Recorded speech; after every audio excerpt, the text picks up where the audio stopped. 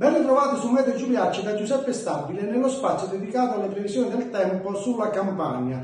L'intensa perturbazione che nelle ultime 24-36 ore ha interessato la nostra regione si allontana verso l'Egeo, associata a una depressione che sta perdendo vigore. Perturbazione che si è rivelata molto intensa, determinando abbondanti precipitazioni con fenomeni anche estremi su alcune località. Questo grazie alle elevate temperature delle acque del mare e dell'aria. Quindi abbiamo avuto nelle settimane scorse un'accentuata anomalia termica positiva e durante il passaggio dei fronti perturbati questo comporta un eccesso di eh, carburante che va a rivigorire le perturbazioni esaltandone i fenomeni. Ora abbiamo l'inserimento di un promontorio dal Nord Africa che per i prossimi giorni interesserà il bacino del Mediterraneo ma con la sua roccaforte spostata verso ovest quindi saremo interessati marginalmente ma quel tanto quanto basta per garantire un miglioramento delle condizioni meteo con temperature che progressivamente tenderanno ad aumentare. Portandosi nei prossimi giorni come vedremo su valori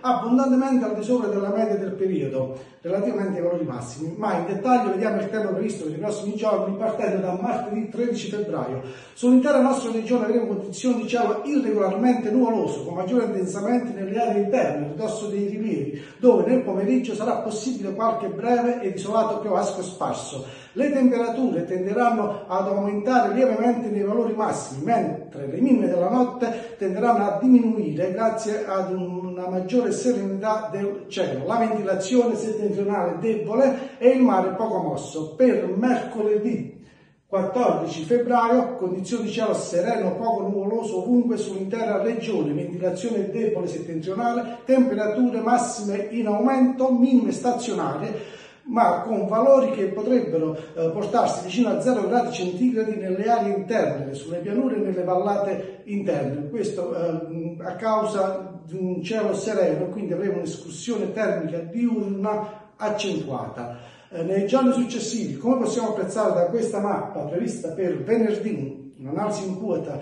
elaborata dal Centro Europeo di Reading, eh, osserviamo come il promontorio subtropicale si sposterà leggermente eh, verso est, dunque inglobando eh, più direttamente la nostra regione, quindi avremo condizioni di stabilità tra ehm, giovedì e sabato soprattutto con temperature in ulteriore aumento. Notate come l'alta pressione tenderà anche a dirigersi verso nord sulle isole britanniche eh, questo consentirà un, ad un cavo d'onda di eh, spostarsi verso sud, ma non ci interesserà, almeno fino a domenica, eh, nessun fronte perturbato, quindi possiamo dire che ritorneranno condizioni di stabilità, soprattutto da giovedì, fino probabilmente a tutto domenica, con temperature che eh, risulteranno al di sopra della media eh, del periodo. Il freddo, ancora una volta, l'inverno che finora non si è eh, fatto vedere sulla nostra regione, ancora latiterà e probabilmente eh, arriveremo in zona Cesarini ehm, per